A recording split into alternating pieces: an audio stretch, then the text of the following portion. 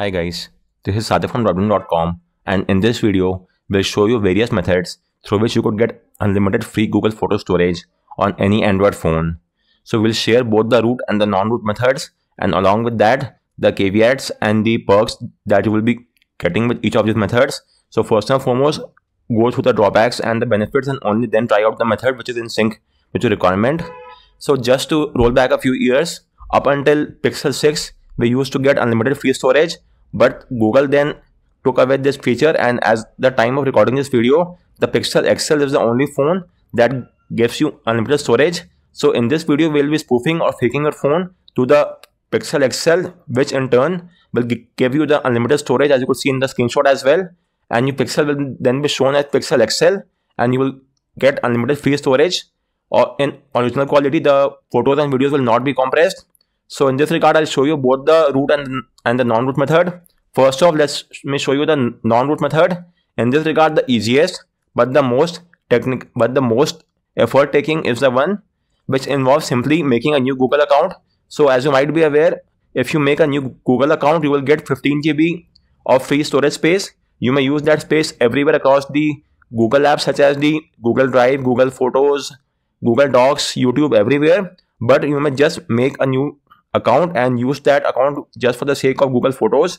Making the account is quite easy. Just go to the settings menu and over there you, sh you should see the Google option. Go to Google and sign into your new account or make a new account or go to account section, add an account. Likewise, you may also make a new account from the web page as well. However, making new account for the sake of 15 GB will take quite a lot of effort and managing all those accounts is no, no easy task in itself. Even I don't use this method, but since it's the most easiest one and does not require any root, that is why I discussed this. If you only require 30 to 40 GB, then you may make a couple of new accounts and then get the job done. But for more storage space, let's move ahead with the next step. So next step require you to use the ReVanced Google Photos. The major issue with this is that you will be using a modified version of Google Photos. Likewise, you will have to sign into a modified GMS, the Google, Google mobile service, which is so if it's fine with you that you have to sign into the modified GMS service, then I'll show you how to get this job done for the sake of uh, convenience and more importantly, to be on the safer side, it's recommended to use your secondary account and not your main account since we are, are logging into a GMS service which is not the official from Google. So use your secondary or any testing account for this service. So with that said, let me show you how to get this job done this tweak does not require root and will work across all the Android phone.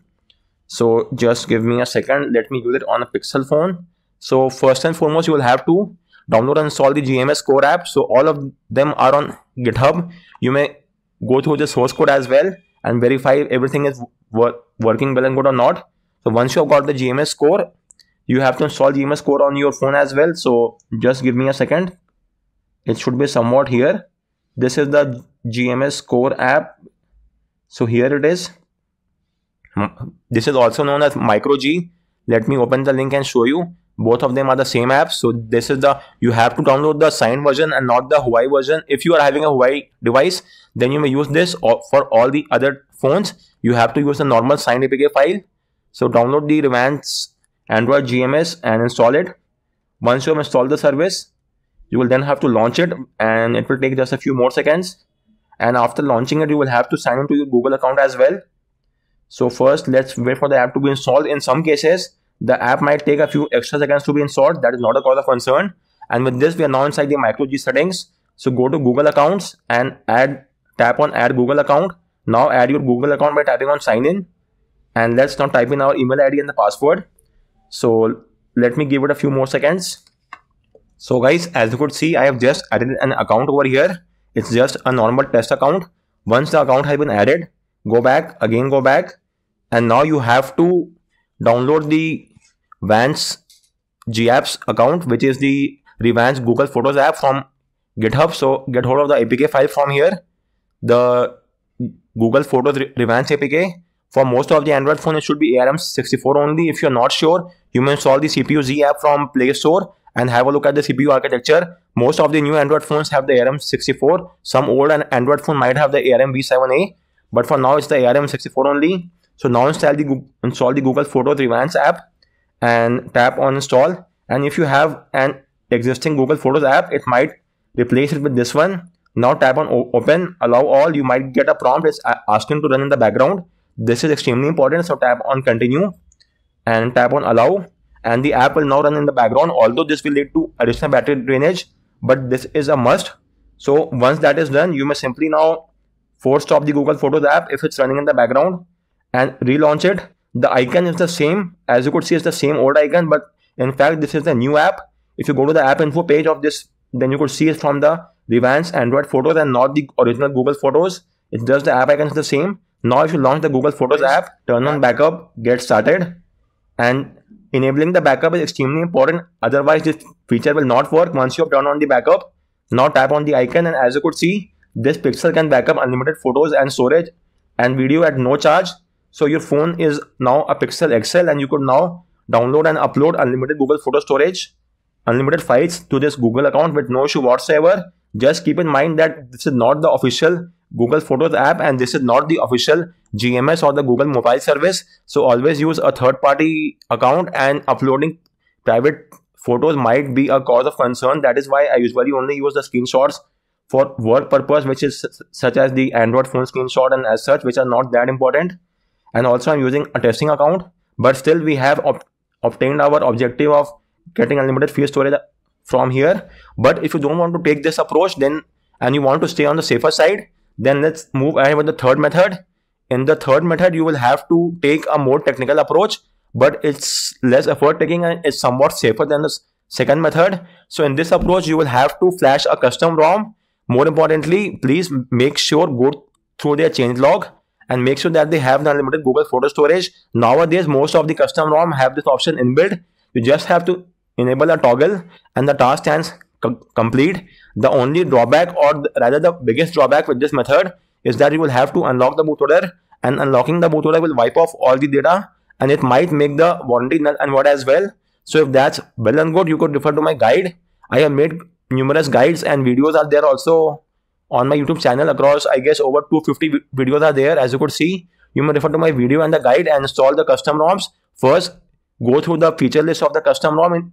As per my knowledge, the Evolution X and the CR Droid are, are two custom ROMs that have this feature built in. So you may use these ROMs for flashing. There are no universal steps, but generally if you're using an AOSP recovery, which comes with the custom ROM itself, such as the Lineage OS recovery, then you could flash the recovery in the recovery partition if your phone has a recovery partition via fastboot flash recovery, recovery IMG, then reboot to recovery via fastboot reboot recovery, then do the format data and sideload the ROM zip file Again, do the format data and reboot to system. In case you have a TWRP or ORANGE recovery, then again boot to fastboot via same method, flash the recovery by the same method, and then you have to format the data, flash the ROM zip file normally, and again do a format data. So again, always you have to do a format data before and after flashing the ROM, whether it's the AOSP recovery or TWRP recovery, and then boot to the OS. Once you are inside the OS, the feature location might vary depending on the ROM which you are using. So for instance, I'm using an Evolution X Android 15 ROM. So irrespective of the phone which you are using, the ROM features will be the same across all the phones. This is an Evolution X ROM. So over here in my case, I have to go to the Evolver, then go to miscellaneous component spoofing, and over here you will have to enable the toggle next to Google Photo Spoof. As you could see, I have enabled this. This will spoof your phone to the Google Pixel XL. Always keep in mind that you cannot spoof your phone to two different pixels. In most of the custom ROM, you also have the option for the pixel props and spoof tensor features. So for instance, if you enable the pixel prop, then it will spoof your phone to the latest Google Pixel, which is Pixel 9 Pro, but your phone cannot be a Google Pixel 9 Pro and the Google Pixel XL at the same time. So only spoof for one phone. For me, the Google Photos is the main objective. So I enable this as a Pixel XL. Even the Snapchat spoof also does the spoof to the Pixel XL. So you may have it enabled because it's the same phone the Pixel XL. Once you enable this, you will also have to remove the data of the Play Store. It's not compulsory, but it's highly recommended. So go to storage and cache, clear storage, delete, and then restart the phone once. So let me do that as well. You have to re restart to the OS. A system UI restart will not get the job done.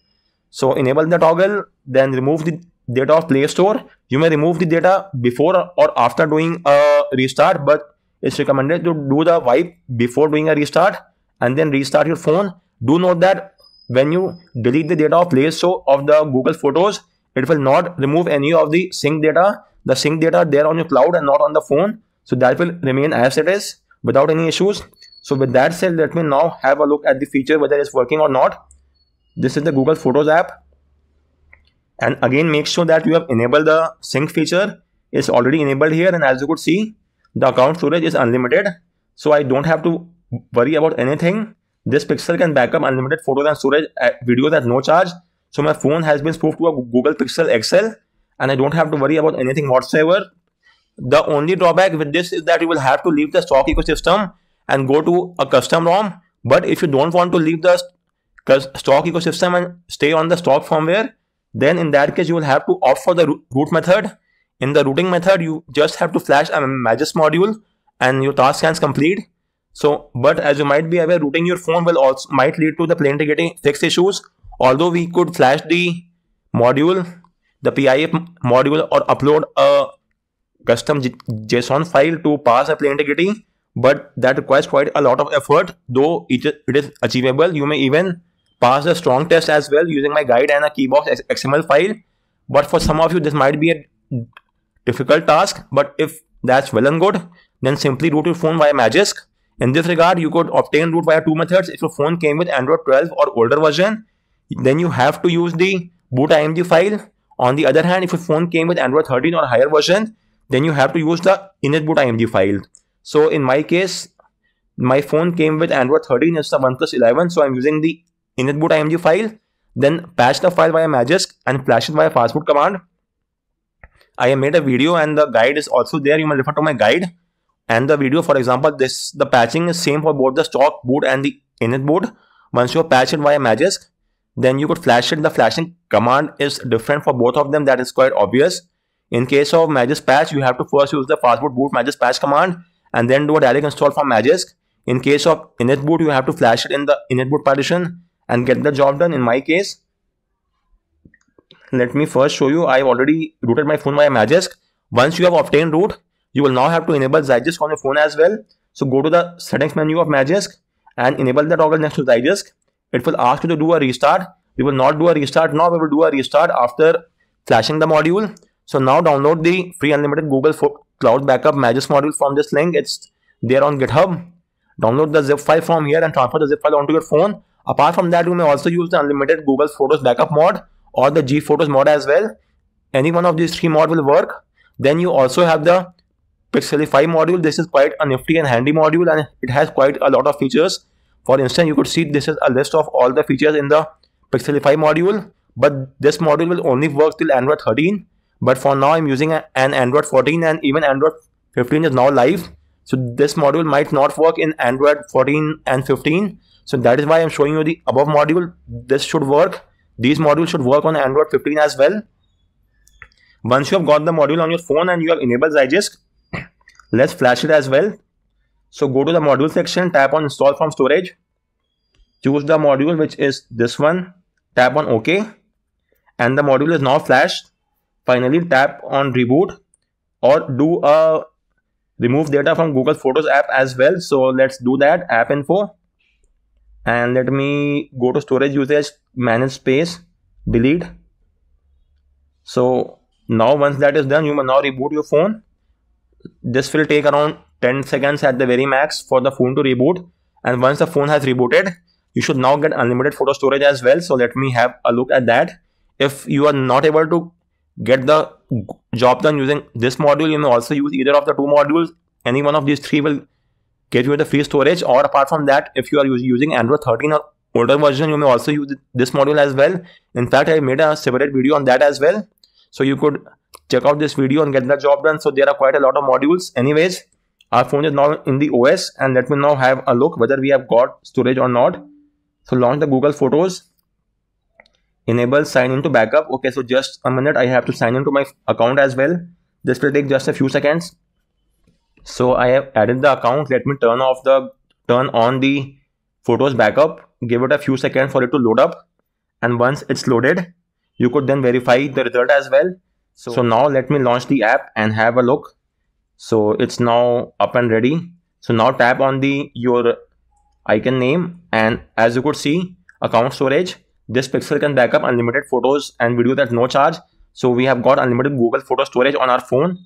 And this phone has been spoofed to a Google Pixel XL. So guys, these were the four different ways of getting the job done. So just a quick recap. The first one is just simply make a new Google account. You will get 15 GB of free space, but you will have to keep on carrying out this task every time you want free space. This requires quite a lot of effort, but will get the job done without the need to root or unlock the bootloader. The next method is to use a ReVanced Google Photos app, which is a third-party Google Photos app, but will look like the exact original app. Likewise, you also need to log into the GMS, the GMS core, which is officially not from the Google. So this might be a risky approach, but will again get the job done because since you are signing to a third-party Google service, your account might be at risk. So please move ahead with caution at your own risk. Then apart from that, you may, if you are a developer or you want to tweak with the OS, you may leave the stock ecosystem and go to a, a custom ROM like CR Droid or Evolution X, and you will just have to enable a single toggle, and then you will get unlimited photo storage. You no longer have to do even the rooting is not required. Just enabling the toggle will get the job done. But again, you will have to leave the stock firmware and go to a, a custom ROM. And in case the custom ROM is no longer being developed, then it might lead to few issues. So in that case, your last course of action is to obtain root on your phone via Magisk, then enable Zygisk and flash any one of these four modules, the free unlimited Google Cloud Backup module, unlimited Photos Backup mod, G Photos mod, or even the Pixelify module, which will work till Android 13. So flash any of these module, remove the data from Google Photos app, and enable Zygisk as well.